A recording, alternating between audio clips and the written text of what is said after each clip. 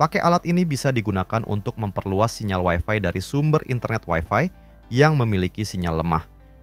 Ini adalah salah satu router outdoor dari TP-Link, yaitu dengan tipe CPE 220. Router ini memiliki spesifikasi yaitu menggunakan jaringan 2,4 GHz, 12 dBi, 2x2, dual polarized directional MIMO antenna, memori 64 MB RAM dan 8 MB flash prosesor Qualcomm Atheros 56 MHz CPU. Dan untuk interface yang ada pada router, yaitu ada satu Ethernet port LAN kosong yang sudah support dengan PoE in, ada satu Ethernet port LAN, ada satu grounding terminal, dan ada reset button. Kali ini, saya akan mencoba menggunakan router ini untuk memperluas jaringan Wi-Fi, yaitu dengan mode repeater. Sebelum melakukan konfigurasi router, kita bisa pasang terlebih dahulu untuk adapter router. Ada dua port pada adapter router. Pertama ada port PoE. Port ini digunakan untuk terhubung ke router TP-Link karena digunakan untuk menyalakan router. Yang kedua ada port LAN. Port ini digunakan untuk terhubung ke sumber internet utama jika menggunakan koneksi kabel atau ke laptop komputer untuk melakukan konfigurasi router. Untuk konfigurasi router, bisa menggunakan koneksi kabel atau jaringan Wi-Fi.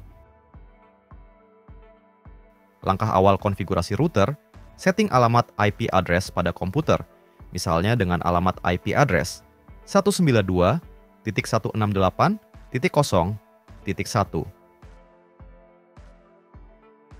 Untuk langkah konfigurasi selanjutnya, akses ke router TP-Link dengan alamat IP address 192.168.0.1 titik kosong, titik 254.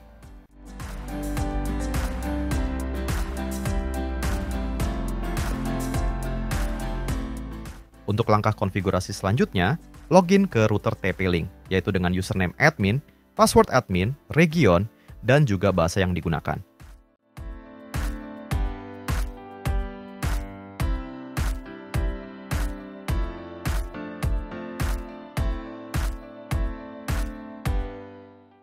Untuk langkah konfigurasi selanjutnya, ubah data untuk username dan password yang baru, yang nantinya digunakan untuk login ulang ke router.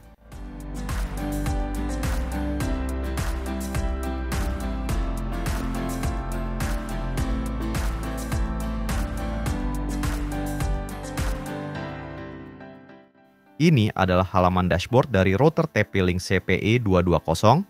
Di sini ada beberapa menu router yang bisa digunakan untuk manajemen router, seperti menu Quick Setup, menu Status, menu Network, menu Wireless, menu Management, dan menu Sistem. Untuk langkah konfigurasi selanjutnya, pilih menu Quick Setup untuk merubah konfigurasi router. Pada halaman ini, karena router akan difungsikan untuk memperluas jaringan Wi-Fi, di sini bisa pilih Repeater. Untuk langkah konfigurasi selanjutnya, yaitu LAN setting, di sini kita samakan alamat IP address pada router supaya menjadi satu jaringan network dengan sumber internet yang digunakan. Untuk langkah konfigurasi selanjutnya, yaitu wireless client setting. Di sini kita bisa menghubungkan ke sumber Wi-Fi yang akan diperluas. Akan ada banyak Wi-Fi yang terdeteksi pada router, kita bisa pilih salah satu Wi-Fi yang akan diperluas. Untuk langkah konfigurasi selanjutnya, yaitu wireless client setting. Di sini kita bisa masukkan password Wi-Fi dari sumber internet yang akan diperluas pada kolom PSK password.